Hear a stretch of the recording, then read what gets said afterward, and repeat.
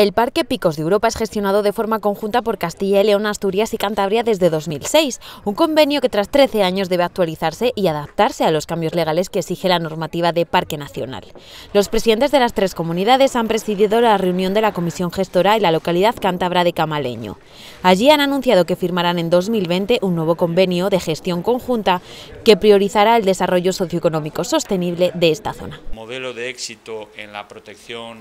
del medio ambiente en, eh, de los picos de Europa,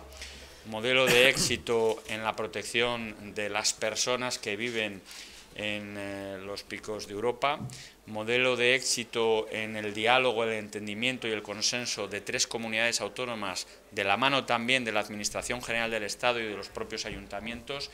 y modelo de éxito de nuestro compromiso con el mundo rural y con eh, esa España interior con esa España que se tiene que convertir en la España de las oportunidades, que no solo sea la España donde se prestan servicios públicos, sino, como muy bien ha explicado el presidente de Cantabria, apostemos por la dinamización de, esto, de, este, nuestra tierra, con eh, la transformación digital